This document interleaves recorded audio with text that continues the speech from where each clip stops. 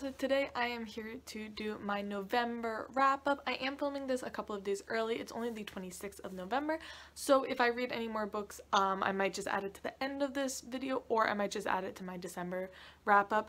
Um, but I have already read 11 books this uh, month and I'm at home so I will be leaving most of these books here so I figured I would just film it now to get it out of the way and have all the books with me so I can talk about them. Um, but yeah, I read 11 books this month, which is crazy. I think I read everything on my TBR. Because yeah, I also DNF'd three books, so I'm going to be talking about all of those books with you guys. So the first book that ended up finishing this month was The Power by Naomi Alderman. I had really high hopes for this book, and very unfortunately they fell pretty flat. Um, I did not enjoy this book that much. I thought it was a big disappointment. I really loved the premise of this book and the first 50 pages totally gripped me but then it went in a just a way that I just was not entertained by. I just I I just didn't like it that much. I didn't really enjoy the writing style of this book. I felt like the author very much kept us at an arm's length away from the characters and I don't know, I just wasn't a big fan of the writing. It wasn't very pretty, it wasn't very good and yeah, I just I thought the premise of this book was excellent and I was pretty disappointed. I think I only gave this about two and a half out of five stars. The next couple of books I read, I did read like throughout the month, but I'm just going to talk about them all right now. I read all three books in the Wayward Pines series by Blake Crouch. I only have the first two here because I actually left the third one at college to read when I got back, but um, I couldn't wait, so I downloaded it on my phone on my Kindle like app and I read it immediately just on my phone you, you, so you know this was a really good series. I gave the first book, I believe, a four and a half out of five stars, the second book a 4.25 out of five stars, and the third book a 4.75 out of 5 stars. I adored this series. It is so good. Oh my god. It's like I must just say, it isn't something you'll go into and be like, oh my god, this beautiful literature, this beautiful writing, oh my god, all these metaphors. Um, it's just really freaking entertaining. It is such a good book series just for entertainment. So I'll talk about the first book because obviously the second and third book uh, will be spoilers if I talk about them. Um, so this first book follows a man named Ethan and he gets into a car crash while he is going into a uh, town where he believes his ex cop partner has been either kidnapped or killed or something has happened to her because she went to this town earlier in the week and she hasn't been able to like be contacted. So he goes to this place and it's called Wayward Pines and when he gets there he's in a car accident and he loses all of his memories for a little bit there and then when he finally starts to regain his memories he is very very confused as to where he is and what is going on because this town is kind of fishy. This town is surrounded by a giant wall fence um, that is electrified so people can't get in or out and as well as the roads never leave the town. So obviously this guy is a, I believe he's an ex-military man, he was a policeman, and he's like a secret agent kind of thing.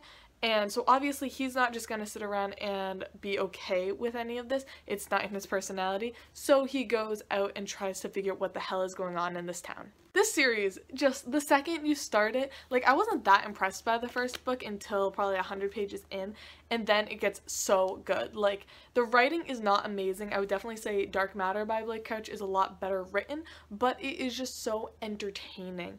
Obviously, I read the uh, second and third books right back to back, basically, and I just couldn't stop reading. I was so hooked. I would actually say this first book is a great setup and I did rate it higher than the second book, but the second and third book are really entertaining. The second book, it takes a little bit longer to get into it, but the third book is just action and action and action and it doesn't stop. It's so, so good.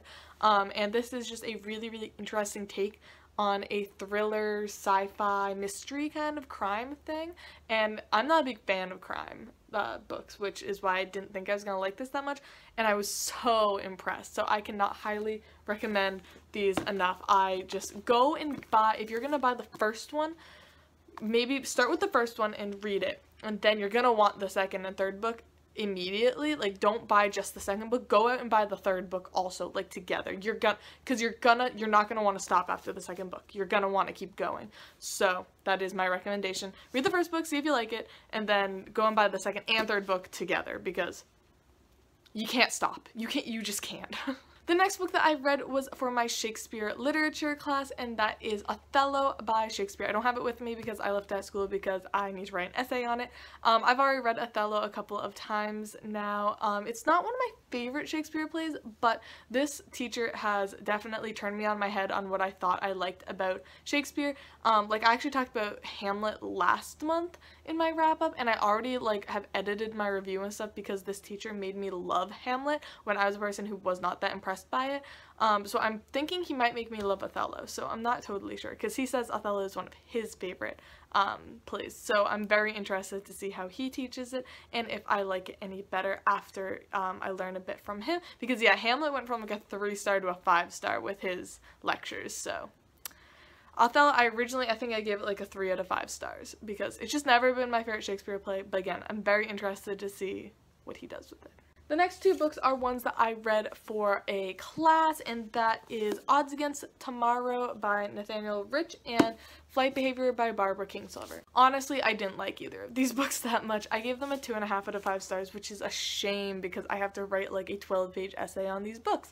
Um, but they are basically, we were learning about climate fiction while we read these, and I must say, Barbara Kingsolver, I'm actually a big fan of. I've read quite a few of her books so far, and this one was just so bad. I just, it was so boring.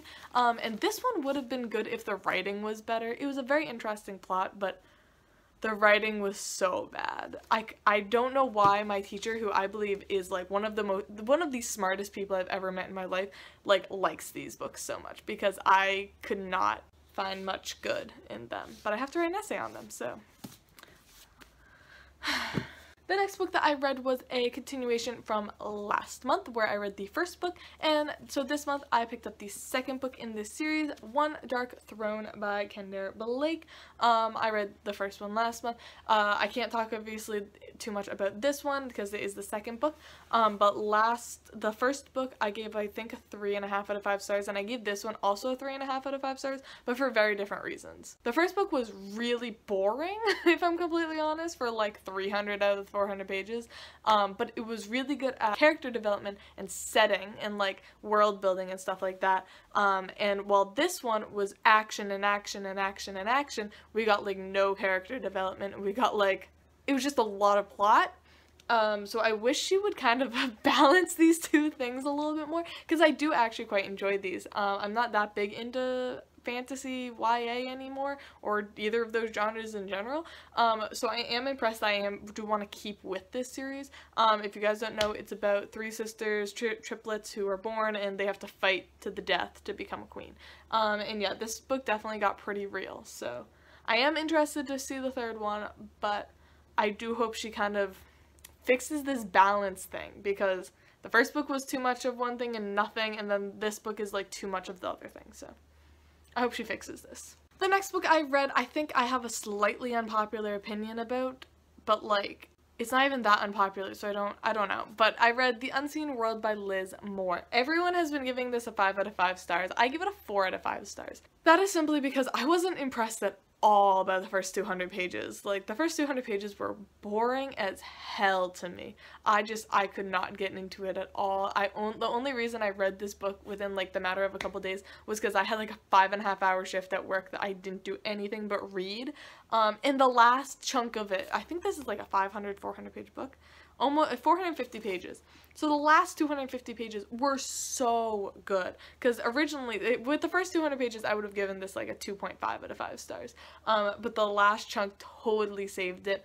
Um, and I just I really, really liked this book in the end, but I do think I have an unpopular opinion just because I wasn't the biggest fan of the very beginning. While a lot of people say it's very much like an emotional punch, I'm just not a person that gets very emotional over books. I don't know, I just wasn't that impressed by the beginning, but the ending really did impress me, so I did end up giving it 4 out of 5 stars, um, and I do highly recommend this. This is a very, very good book, but that's what I'm saying. I'm like, I, I never understand when people are like, oh my god, a 4 out of 5 star, that's like, you hated it. I'm like, no, I really freaking liked this book. I just didn't like the beginning that much. Um, so I don't think that's that unpopular of an opinion. But whatever, I did really, really enjoy this book. This book is about a young girl who See, the reason, the thing is, I did not know much about this book going into it because I feel like no one gives a synopsis because it's very hard to.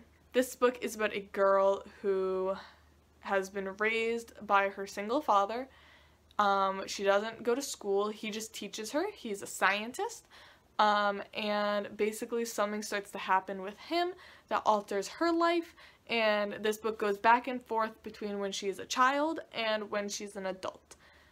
And it's kind of her finding things out about her father and also technology, and it's got the smidgest amount of sci-fi. Yeah, it's really good. I do really recommend this book. I just wasn't impressed with the first 200 pages. So if you're like me, it does get way better after like the 200 page mark. So the next book I read was a buddy read with my friend Graham, who is Mega Man fan. I don't know, I don't think he does YouTube anymore, but I do still talk to him and everything, and we did a buddy read this month of Burial Rites by Hannah Kent. This book has probably been on my like want to read list on Goodreads for like the longest amount of time. Like it has been on there since like I started booktube basically. I just never got to the book because honestly as time went on I was kind of like do I even want to read this? But then he mentioned that he really wanted to so I was like sure I'll finally give it a chance. I got on my Kindle for like a dollar ninety nine so why not? I must say I again I wasn't impressed with the beginning but the ending totally saved this book. I am very much in ending is a make or break um, kind of thing because a lot of books lose a star with the ending and a lot of books gain a star with the ending. So this book was a solid 2 out of 5 stars for me. I didn't really like it that much. It was just okay. Um, and again, people are always like 2 out of 5 stars, that's horrible. Um, on Goodreads, if you like hover over it, it says a 2 out of 5 star is it was okay.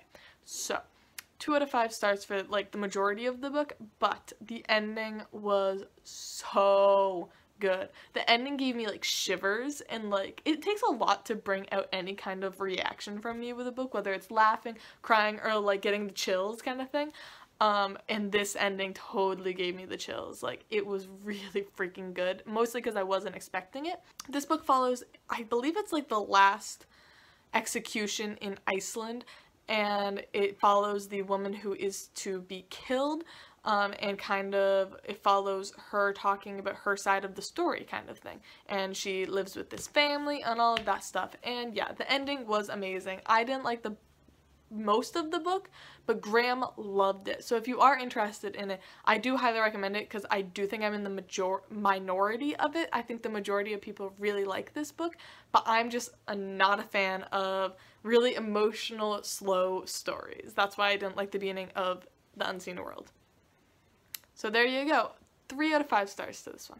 And the last book that I read so far this month, we'll see if I add anything to the ending, was The Nakano Thrift Shop by Hiromi Kawakami. Hiromi Kawakami is interesting to me. I read her other book, Strange Weather in Tokyo, over the summer. And I really, I, I did enjoy that one. I think I gave it a three and a half or four stars, and I gave this one a three and a half out of five stars. And they're just strange because I really don't know why I like them or if I even really do like them. Her stories are very quiet stories. They're very human stories. They are very realistic and very honestly just boring because they are kind of about just like regular people.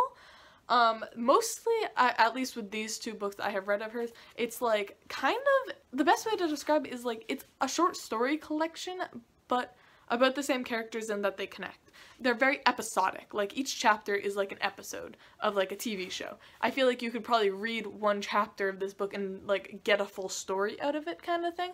And I'm just not a big fan of short stories, so that's why I'm wondering if I don't enjoy these as much because of that. But I did enjoy it. I do really like her writing style. I really like how human her characters are, and I really like how quiet her stories are. But I also do find them really boring, so I don't really know why I keep going back for more.